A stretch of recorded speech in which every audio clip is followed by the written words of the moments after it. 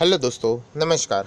S M किसी channel में मैं आप सभी लोगों का दिल से बहुत बहुत स्वागत करता हूँ। आज के दिन की बात करें तो दो वीडियो अपलोड हो चुके हैं। एक आईपीओ से रिलेटेड एक येस बैंक एंड ट्राइडेंट से रिलेटेड दोनों वीडियो के लिंक नीचे डिस्क्रिप्शन बॉक्स में मिल जाएगी। फ़र्स्ट टाइम विज़िट किया चैनल को सब्सक्राइब कर लेना। फ्री स्टॉक मार्केट क्लासेस को भी फॉलो कर सकते हो। लिंक ऊपर आई बटन पर नीचे डिस्क्रिप्शन बॉक्स में मिल जाएगी। सो दोस्तों, अभी हम लोग आ चुके हैं बिल्कुल हमारे नॉर्मल स्क्रीन के ऊपर एंड जो सवाल यहाँ पे बार बार पूछा जा रहा है येस उसी से रिलेटेड एक आर्टिकल भी हम लोग को यहाँ पे देखने को मिल रहा है एंड इसी से रिलेटेड ये वीडियो देखने को मिलने वाला है। मतलब बैंकिंग स्टॉक से रिलेटेड यूजुअली आप लोगों ने देखा होगा जितने भी मैंने स्टॉक्स लिखे वो यूजुअली बैंकिंग स्टॉक है। अगर आप चाहो तो इसमें एनबीएफसी भी जोड़ सकते हो राइट लेंडिंग का काम मतलब जो पैसा देने का काम लोन देने का काम करते हैं उनसे रिलेटेड ऐसे कंपनी से रिलेटेड ये वीडियो हम लोग को देखने को मिलने वाला है। सो so, अगर मैं बात करूँ तो दोस्तों आप लोग यहाँ पे देख सकते हैं अलग अलग रिपोर्ट्स अभी सामने आ रहे हैं क्योंकि आप लोगों को पता है अभी क्वार्टर फोर के नंबर्स का सिलसिला चालू हो चुका है। आज के दिन में एक बहुत बड़ी कंपनी का जे एम का भी नंबर सामने आ चुका है। तो मतलब कह सकते हैं कि क्वार्टर फोर का सिलसिला शुरू हो चुका है। सो so, यहाँ पे रिपोर्ट्स के ज़रिए अगर मैं बात सामने करूँ तो बैंक से रिलेटेड एक ही इंपॉर्टेंट न्यूज़ है। इस वक्त बैंकिंग स्टॉक के नंबर्स की बात नहीं हो रही है। बैंकिंग स्टॉक के एक ही चीज़ की बात हो रही है एंड वो है एनपीए क्योंकि कोर्ट का या इससे पहले ऑर्डर था कि एनपीए आप लोग नहीं रिकॉर्ड करोगे करके दिखाओगे नहीं। जब तक हम लोग ऑर्डर नहीं देते अभी वो सारा माजरा खत्म हो चुका है। सो हम लोग कह सकते हैं कि क्वार्टर फोर में यहाँ पे एनपीएस के नंबर शायद से हम लोग को देखने को मिलेंगे।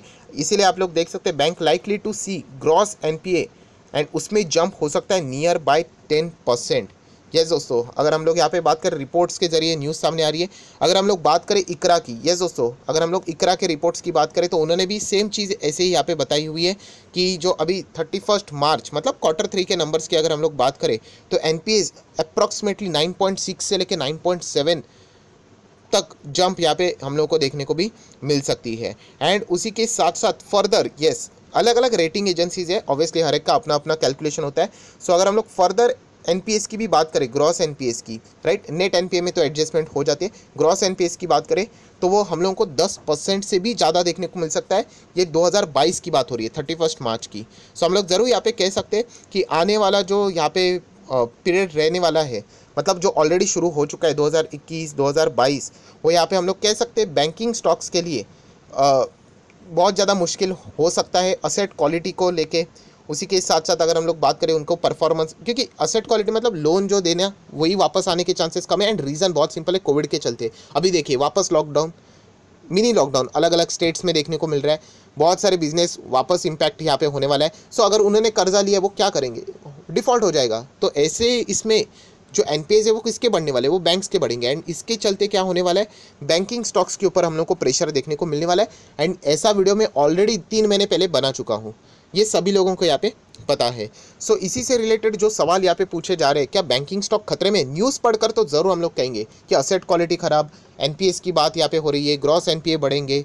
राइट? तो बैंकिंग स्टॉक में इश्यूज़ रहेंगे। सो इसीलिए आज के दिन की भी बात करें तो 177 पॉइंट्स की गिरावट देखने को मिल रही है बट ये गिरावट उससे भी ज़्यादा है एक्चुअल में। क्यों? क्योंकि बैंक निफ्टी बहुत अच्छी तरीके से हायर लेवल पे कहता है एंड वहाँ से हम लोग को एक गिरावट देखने को मिली है। सो एग्रीगेटली गिरावट तो पाँच पॉइंट की भी अगर आप चाहो तो यहाँ पे बोल सकते हैं देखिए, बहुत ही हायर लेवल तक हम लोग को बैंक निफ्टी जाते हुए देखने को मिला, वहाँ से नीचे आते हुए देखने को मिला है। सो बैंकिंग स्टॉक्स के ऊपर आप बैंक्स के साथ साथ जब भी मैं बैंक्स बोलता हूँ तो एनबीएफसी भी आप चाहो तो पकड़ सकते हो इस केस में। तो इनके ऊपर ज़रूर हम लोग को प्रेशर देखने को। मिलने वाला है। क्वार्टर फोर के भी नंबर्स की अगर हम लोग बात करें तो सभी लोग ऑलरेडी यहाँ पे मेंटली प्रिपेयर्ड हो रहे हैं या फिर अगर हम लोग कह सकते हैं कि लेंडिंग वाले स्टॉक बैंकिंग सेक्टर वाले स्टॉक फाइनेंस सर्विसेज़ प्रोवाइड करने वाले स्टॉक यहाँ पे हम लोग को फैक्टर होते हुए देखने को मिल रहे हैं एडजस्ट होते हुए देखने को मिल रहे हैं रिज़ल्ट के पहले ही। सो so, इसी से अगर हम लोग यहाँ पे बात करें तो देखिए पीएसयू बैंक तो हम लोग काउंट करते भी नहीं है राइट वहाँ पे एन कितने भी बड़े सरकार है ही उनके पीछे। इसीलिए तो सरकार प्राइवेटाइजेशन से रिलेटेड शायद से फोकस कर रही होगी राइट पीएसयू की बात करें तो वहाँ पे स्टेट बैंक ऑफ़ इंडिया ही एक है जो कि सरकार के अंडर ही रहने वाला है। हमारा मेन फोकस आ जाता है प्राइवेट बैंक की ओर तो मैं प्राइवेट बैंक की ओर यहाँ पे क्लिक कर ही लेता हूँ। सो प्राइवेट बैंक यहाँ पे जो सवाल पूछा जा रहा है बार बार क्या ये बैंकिंग स्टॉक खतरे में है? सो so, इसका जवाब आप चाहो तो बोल सकते हैं partially yes partially no yes किसके लिए? तो ऑब्वियसली दोस्तों जो बैंकिंग स्टॉक फंडामेंटली पुअर है जो खराब परफॉर्मेंस देते हैं। तो ऐसे बैंकिंग स्टॉक ऑब्वियसली खतरे में, वो तो देखा जाए तो एनपीएस का ये इशू भी नहीं पकड़ोगे ना। तो इससे पहले भी वो खराब ही थे। एंड ऐसे स्टॉक तो हम लोग पकड़ते भी नहीं है हमारे पोर्टफोलियो में। क्यों ऐसे स्टॉक में जाना जो पहले से स्ट्रगल में कर रहे राइट तो यहाँ पे अगर मैं बात करूँ तो जो स्टॉक फंडामेंटली स्ट्रांग है, जिन स्टॉक्स की मैं बार बार ज़िक्र करते रहता हूँ, ऐसे बैंकिंग स्टॉक में आप लोगों ने डरने की ज़रूरत नहीं है। एंड मैं आपको बताना चाहूँगा, ये मैं वीडियो दो से तीन महीने पहले बना चुका हूँ सेम वे में, कि यहाँ पे अगर आप लोग चाहो दिमाग लगाकर तो पैसा भी बना सकते हो। पैसा कैसे बनेगा? कि बैंकिंग स्टॉक की अच्छे फंडामेंटल बैंकिंग स्टॉक की लिस्ट बना के रखो, जब ये एनपीएस के इशू होने वाले हैं, बहुत ज़्यादा बैंकिंग स्टॉक्स में गिरावट आ जाएगी तो अच्छे स्टॉक को उठा लेना। एंड बहुत सारे म्यूचुअल फंड भी यही करने वाले हैं।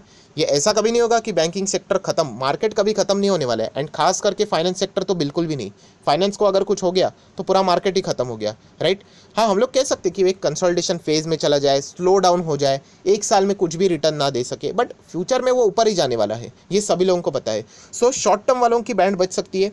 राइट जो मुझे बिल्कुल पसंद नहीं है। लॉन्ग टर्म वालों को कोई चिंता करने की ज़रूरत नहीं है। सिर्फ़ अगर आप चाहो तो एसआईपी मोड अच्छे स्टॉक में लगा के बैंकिंग स्टॉक में लगाकर अच्छा खासा लॉन्ग टर्म में मुनाफा भी यहाँ पे कमा सकते हो। सो so, क्या बैंकिंग स्टॉक खतरे में तो अगेन कहना चाहूँगा अगर मैं अपने हिसाब से बात करूँ जो हमारे पोर्टफोलियो में जो बैंकिंग स्टॉक्स रहते हैं तो मुझे तो बिल्कुल भी कोई इससे फ़र्क पड़ने वाला नहीं। क्योंकि मैंने इससे पहले भी बोल चुका हूँ जो एनपीए का प्रॉब्लम है वो किसी एक बैंक का नहीं है कि इसका होगा इसका होगा इसका। ये तो पूरे सेक्टर का है। आप प्राइवेट हो या फिर पब्लिक हो सभी लोगों के लिए ये इक्वली ये सारी चीज़ें इम्पैक्ट होने वाली है। सो so, ऐसे सिचुएशन में कौन से बैंक खतरे में रहेंगे? जो कॉरपोरेट्स को लोन ज़्यादा देते हैं या फिर जो छोटे बिजनेसेस को लोन ज़्यादा देने के ऊपर फोकस रखते हैं एंड वो फंडामेंटली ख़राब भी है। सो so, ऐसे बैंक्स को डबल झटका लग सकता है। हाँ अगर आप लोग बहुत बड़ी बैंक है एंड छोटे इसको देते हैं तो वो झेल लेगी आराम से राइट सो so, इतना ही कहना चाहूँगा जो लोग यहाँ पे पूछ रहे थे डाउट बिल्कुल सही है आपका कि एन का इशू रहने वाला है इसमें कोई संदेह नहीं है। अभी बहुत ज़्यादा यहाँ पे एनपीएस एक ही टाइम पे दिखने वाले हैं क्योंकि लास्ट क्वार्टर थ्री में तो सभी लोगों ने एंजॉय किया क्योंकि कोई भी एनपीएस अगर आप देखोगे तो पिछले टाइम से कम ही नज़र आए हैं क्योंकि वो रिकॉर्ड नहीं किए गए थे। तो इतना ही कहना चाहूँगा ये एन का जो प्रॉब्लम है वो सारे बैंकिंग स्टॉक के लिए इक्वल है। सो so, मैं इतना कहना चाहूँगा, अच्छे स्टॉक्स में आप लोग बने रहे। अभी आप बोलोगे, अच्छे स्टॉक कौन से? तो मैं ऑलरेडी बता चुका हूँ, मैं अपने हिसाब से बता रहा हूँ, हर एक का अपना अपना नज़रिया अलग हो सकता है। सो HDFC बैंक अगर आपके पास है, मुझे ऐसा लगता है कि आपको डरने की ज़रूरत नहीं डरने की ज़रूरत मतलब ये मत समझ लेना कि ये फोर्टीन का स्टॉक नीचे गिरेगा ही नहीं, वो कितना भी गिरे, जितना हो सके खरीद लेना। ऐसा मुझे यहाँ पे लगता है बट खरीद लेना मतलब लॉन्ग टर्म के लिए आपको होल्ड करना, आना चाहिए। आप देख सकते हैं, ये देखिए लॉन्ग टर्म की जर्नी में देख लेना H D F C Bank अच्छा ही परफॉर्मेंस करता है। बहुत बड़ी बैंक है, कोई छोटी मोटी बैंक नहीं टॉप फाइव में आने वाली कंपनी है देन अगर हम लोग बात करें कोटक महिंद्रा बैंक, आराम से आगे बढ़ सकते हो। टाइम दे दे गो तो ज़रूर आप लोगों को रिटर्न्स मिल जाएँगे। ऐसे बैंक्स में एनपीएस के इश्यूज़ भी हो गए तो भी फ़र्क नहीं पड़ेगा, क्योंकि ये दिग्गज है। ये दिग्गज बैंक में ही पैसा यहाँ पे आएगा। जब भी कोई सेक्टर स्ट्रगलिंग मोड में चला जाता है तो दिग्गज में पैसा आ जाता है। राइट एंड वो भी हम लोगों ने देखना होता है कि दिग्गज में पैसा आएगा बट क्या वो आगे परफॉर्म कर पाएगा कि नहीं? सो so, हम लोग ज़रूर कह सकते हैं कि बैंकिंग स्टॉक में ये तो परफॉर्मेंस देने वाले देन आई बैंक अगर रहेगा तो मुझे नहीं लगता कि आपको कोई चिंता करने की ज़रूरत है। नीचे आएगा तो आप चाहो तो आप बाय एंड डिस भी कर सकते हो। देन अगर हम लोग बात करें तो एक्सिस बैंक आप चाहो तो खरीद सकते हो। मेरे पास तो नहीं है मैं आई को थोड़ा सा प्रेफरेंस देता हूँ रिस्क लेना है तो। Then A U Small Finance Bank अभी अभी बैंक निफ्टी में एंटर किया है। ज़रूर हम लोग कह सकते हैं नाम से ही अंदाज़ा आते हैं स्मॉल फाइनेंस प्रोवाइड करने वाली ये बैंक है। सो यहाँ पे कोई दिक्कतें हम लोग को देखने को नहीं मिलेगी। अच्छा खासा बैंक है। नीचे अगर आ भी जाते हैं तो आप थोड़ा सा रिस्क लेके चल सकते हो। देन फेडरल बैंक पर्सनली मुझे ऐसा लगता है, थोड़े से रिस्क इसमें। आप चाहो तो आईडीएफसी फ़र्स्ट के साथ आप अपनी स्टडी के हिसाब से जा सकते हो। मैं थोड़ा सा फेडरल बैंक की ओर फोकस रखता हूँ। देन अगर हम लोग यहाँ पे बात करें तो यहाँ पे लिखा नहीं है बैंक पर बहुत सारे लोग बोलेंगे, सर येस बैंक किधर है? तो मैं पहले भी बता चुका हूँ कि येस बैंक की आपकी लास्ट प्रायोरिटी होनी चाहिए एंड उसमें भी थोड़ा सा पैसा जाना चाहिए राइट सौ रुपये में से बात करें तो पाँच रुपया, चलो इतना ही, उससे ज़्यादा नहीं। बाकी मेन कोर बैंक आप लोगों ने खरीद के रखने हैं। सो ये अगर आपके पास ऐसे फंडामेंटल स्ट्रॉन्ग बैंक्स रहेंगे तो आप लोगों ने कोई चिंता करने की ज़रूरत नहीं क्या बैंकिंग स्टॉक खतरे में तो खतरा भी तरह ऐसा कुछ नहीं होता है दोस्तों। वापस कहना चाहूँगा, वो थोड़ा टाइम खराब रहता है। ये हर किसी सेक्टर में होता है। ऑटो सेक्टर नहीं देखा आपने, दो हज़ार अठारह से क्या हुआ था? आज भी रिकवर नहीं कर रहे, वो फ्यूचर में कर लेंगे। ये साइकिल रहता है। कभी ये अच्छा कभी वो अच्छा ये चलता रहता है। सो मैं इतना कह सकता हूँ कि कोई पैनिक होने की ज़रूरत नहीं है। अच्छे क्वालिटी स्टॉक अगर आपके पास रहेंगे सो आप लोग अच्छे खासे रिटर्न यहाँ पे कमा सकते हैं। हाँ अगर आप लोग छोटे स्टॉक्स के लालच में एंटर कर लेते हो इधर उधर के बैंकिंग स्टॉक्स में तो फिर कोई मतलब ही नहीं है। मतलब ये एन के इशू भी नहीं रहेंगे तो भी फिर भी वो बैंक्स क्या रहेंगे वो खराब ही परफॉर्मेंस करेंगे। सो so, ऐसे बैंक्स में हम लोगों ने यहाँ पे नहीं जाना है। एंड जैसे मैंने कहा ये सिचुएशन सभी लोगों के लिए इक्वल है जो कि हम लोग फाइनेंस के टर्म में एक्सटर्नल इश्यूज़ बोलते हैं। सो एक्सटर्नल इश्यूज़ है जो कि सभी लोगों के लिए कॉमन रहता है। सो so, उसका रिवाइवल भी रहेगा तो सारे स्टॉक हम लोग को वापस रिकवर होते हुए देखने को मिलने वाले हैं। सो so, बस मैं इतना ही कहना चाहूँगा कि अच्छे क्वालिटी वाले बैंकिंग स्टॉक के साथ अगर आप बने रहोगे तो कोई भी चिंता करने की ज़रूरत नहीं। इनफैक्ट ये बड़ी अपॉर्चुनिटी भी है कि अगर आपको ये स्टॉक सस्ते दाम में मिलते तो आप लोग आगे उनको खरीद भी सकते हो। सो so, आया आशा करता हूँ आपको वीडियो अच्छा लगे तो लाइक एंड शेयर कर देना। So that's it thank you very much दोस्तों। We will be meeting next video तब तक के लिए बाय बाय